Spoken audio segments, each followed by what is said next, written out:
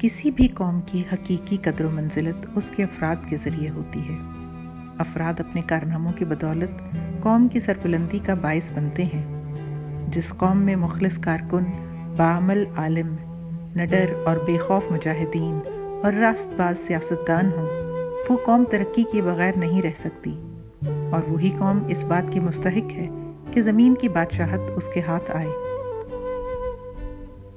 इस्लाम से कबल अरबों का शुमार दुनिया की वहशी कौमों में होता था। वो इंतहाई परागंदगी की हालत में ज़िंदगी बसर करते थे। किसी की अतात करना उनके लिए आर था। मामूली मामूली बातों पर गैज़ गज़ब की आग उनके दिलों में भड़क उठती थी, जिसका नतीजा अमूमन खून रेज जंगों की सूरत में ज़ाहिर होता था। कबायली असबियत पर दूसरी तमाम चीज़ें कुर्बान कर दी जाती थीं। अपने कबीले की हमायत में हर शख्स कट मरने को तैयार हो जाता था। ख्वाह कबीला हक पर हो या ना हक पर, चाहे वो जालिम हो या मजलूम, उनकी हालत बिल्कुल इस शेर के मजदाक थी।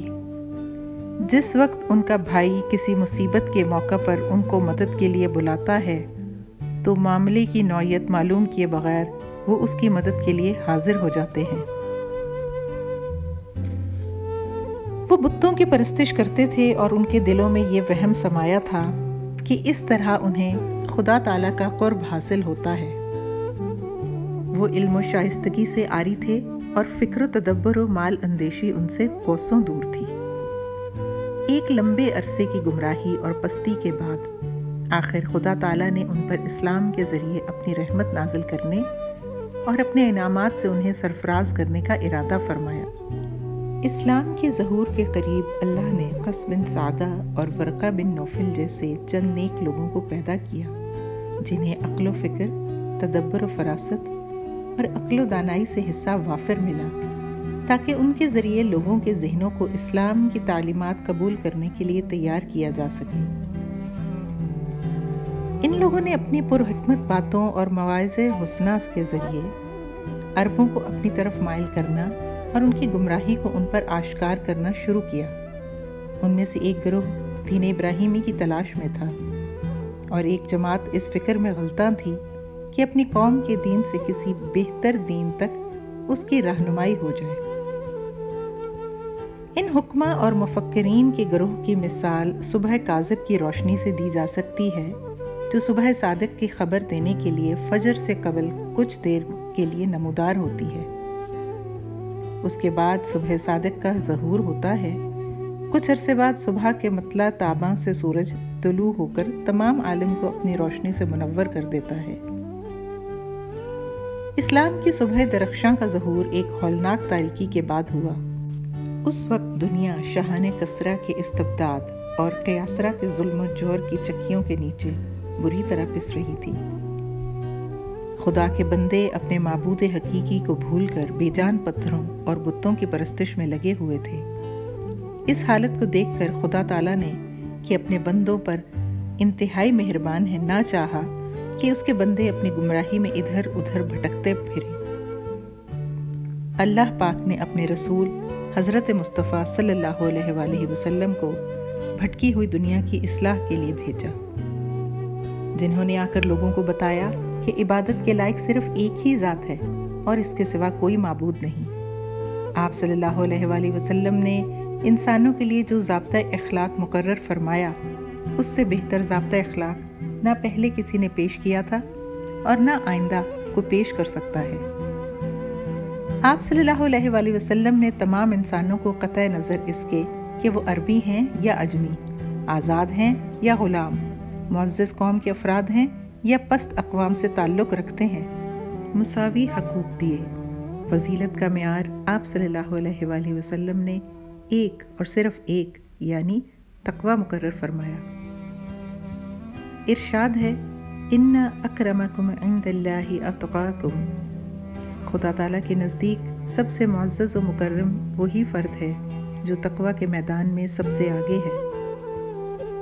उम्मत मुस्लिमा अपने अहद अव्वलीन में तमाम अकवाम आलम के लिए एक नमूना थी। उसने दुनिया को दिखा दिया कि वतन की खातिर कुर्बानी और ईमान की पुख्तगी का इजहार किस तरह किया जाता है। और जो फतूहत मुसलमानों ने हासिल की, उनके पस मंज़र में जो चीज़ काम कर रही थी, वो थी कौम की सफ़ों में मुकम्मल यकजहती और रियाया के दरमियान कामिल मसावत। इरशाद है किसी अरबी को किसी गैर अरबी पर किसी किस्म की कोई फजीलत हासिल नहीं है। अगर किसी को कोई फजीलत हासिल है तो महज तकवा के सबब। उम्मत मुस्लिमा इब्तदा में अदल इंसाफ की कदर कीमत से हकीकी तौर पर आशना थी। कोई मुज्ज़ तरीन शख्स भी कसूर करके सज़ा से बच नहीं सकता था। और कोई नहायत ही गरीब शख्स भी मजलूम हो तो इंसाफ से महरूम नहीं रह सकता था।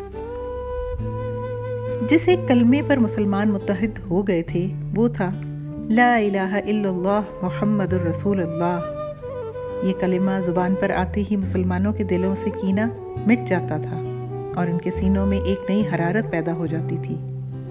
उनकी तमाम जद्दोजहद इसी कलमे को सरबुलंद करने की खातिर थी। इसी की खातिर वो जमा होते थे और इसी की खातिर वो जिहाद करते थे। कोई मौरख जब इन फतूहत पर नज़र दौड़ाता है जो मुसलमानों ने इब्तदाई अहद में, जबकि उनकी वहशियाना तर्ज ज़िंदगी को ख़त्म हुए ज़्यादा दिन नहीं गुजरे थे, हासिल की थी तो हैरत से उसका दिमाग चकराने लगता है। आखिर वो कौन सी चीज़ थी जिसने इस तहजीब अखलाक से आरी कौम को आला दर्जे की महजब और शाइस्ता कौम बना दिया? और इसमें वो इतिहाद पैदा कर दिया जिसकी नज़ीर मिलना मुश्किल है। हालाँकि एक वक्त ये था कि किसी शायर का एक शेर ही एक बाप के दो बेटों में हमेशा के लिए तफरीक डालने और बाहम अदावत की आग भड़काने के लिए काफ़ी हुआ करता था। तफरीक अदावत भी ऐसी कि इसका नतीजा अक्सर खून रेज जंगों की सूरत में ज़ाहिर होता था। हर शख्स के जहन में सवाल पैदा हो सकता है कि दिलों में ये इनकलाब अजीम किस तरह बर्पा हुआ? क्या इस इनकलाब का सबब वो दुनिया दीन था, जिसके वो पैरकार बन गए, या वो अदल था जो उस वक़्त कायम हो चुका था, या वो मुसावात थी जिसने हाकिम और महकूम दोनों को एक सतह पर लाकर खड़ा कर दिया था, या फौजों की आला कारकर्दगी थी जिसने उनको फतूहात से नवाजा। इन सवालों का सिर्फ़ एक ही जवाब है, और वो ये कि ये दीन इस्लाम ही था जिसने अरबों के मुंतशिर शीराजे को यकजा किया उनकी सफ़ों में इतहाद पैदा किया, दौर जाहिलियत की मोहलिक रसूमात से उन्हें रोका और एन उस वक्त जब उनकी कुतें बाहमी तनाज़ात में ज़ाय हो रही थीं, उनके सामने एक बुलंद नस्बुलैन रखा और उनकी कुतों को इसके हसूल की कोशिश में लगा दिया। इसी दीन ने उन्हें मुसावात और अदल की नेमतों से रोशनास करवाया। इसी ने उन्हें इत्तेहाद की तलकीन की। इसी ने इन्हें अल्लाह और उसके रसूल की अतात करो और आपस में मत झगड़ो, क्योंकि इस तरह तुम कमज़ोर हो जाओगे। की तालीम देकर इख्तलाफात और झगड़ों से बचने का हुक्म दिया। उसी ने ये फरमान सुनाकर उन्हें फ़तह पाने का गुर बताया कि, ए ईमान वालो, जब किसी गिरोह से तुम्हारा सामना हो तो तुम साबित कदम रहो। अल्लाह ताला का कसरत से ज़िक्र करते रहो। इसी तरह तुम कामयाब हो सकते हो। इसी दीन ने उनकी अक्लों को जिला दी और अल्लाह का ये हुक्म सुनाकर कि क्या इंसान ज़मीन व आसमान की बादशाहत और खुदा ताला की पैदा करदा अशिया पर गौर फ़िक्र नहीं करते? उन्हें ज़मीन व आसमान के अया उनहा ख़जाने हासिल करने की तरफ़ मुतवजा किया। जब मुसलमानों ने अपने इर्द गिर्द नज़र दौड़ाई तो उन्होंने देखा कि एक तरफ़ तो उम्रा ऐश परस्ती में मशगूल हैं दूसरी तरफ़ गुलाम और गरीब रियाया, जो सितम में दबी हुई है, नंगे इंसानियत काम किए जा रहे हैं और हर तरफ़ गुमराही का बाज़ार गर्म है। उस वक़्त उन्हें ये खुदाई फरमान याद आया। तुम में से एक जमात ऐसी होनी चाहिए, जो लोगों को नेकी की तरफ़ बुलाए, भलाई की तलकीन करे और बदी से बचाए। इस फरमान के मुजब इन्होंने दीन इस्लाम की इशात और खुदा के बंदों को हिदायत देने की खातिर कमर हिम्मत बाँध ली और जी जान से इस काम में लग गए। उनके सामने सिर्फ़ एक ही मकसद था और वो था आला कलमतलहक और मखलूक खुदा की भलाई। हज़रत अबू बकर रज़ी अल्लाह तहो हज़रत उमर रज़ी अल्लाह तहो हज़रत उस्मान रज़ी अल्लाह तहो हज़रत अली रज़ी अल्लाह तहो हज़रत अमर बिन अलास रज़ी अल्लाह और हज़रत खालिद बिन वलीद रज़ी अल्लाह तु इस मैदान के अजीम तरीन शाहसवार हैं। ज़िंदा और तरक्की करने वाली कौमें अपने मशाहिर के कारनामों को न सिर्फ़ याद रखती हैं, बल्कि उन पर फ़ख्र करती हैं और किसी मौका पर भी वो उनकी तारीफ़ और तोसीफ़ से गाफिल नहीं रहती। ज़ाती महफिलें हों या पब्लिक जलसे, कोई जगह भी उनके तस्करे से खाली नहीं रहती। नतीजा ये होता है कि कौम के बच्चे बच्चे के दिल में अपने बड़ों के लिए एहतराम और तज़ीम के जज्बात मुजन रहते हैं। इसके बिलमुकाबिल मुसलमानों ने अपनी इन माया नाज हस्तियों को बिलमूम फरामोश कर दिया है, जिन्होंने अपनी पूरी ज़िंदगी आलाए वक्फ कर दी थी, जो उम्मत मुसलमा के इज़्ज़त व इफ्तार का बायस थी और जिनकी बेशबहा कुर्बानियों के बायस इस्लाम को शान शौकत नसीब हुई।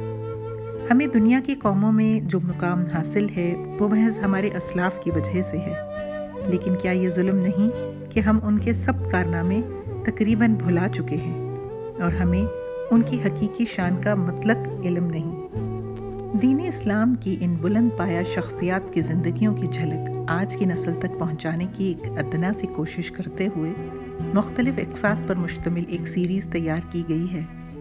इस सीरीज़ का आगाज़ हज़रत खालिद बिन वलीद रज़ी तह की जैसी इंतहाई अहम शख्सियत से किया जाएगा।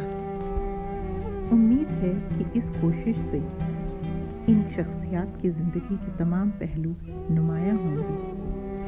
और अल्लाह पाक की ज़ात से दुआ है कि हम अपनी इस अदना और मामूली कोशिश में कामयाब हो सकें।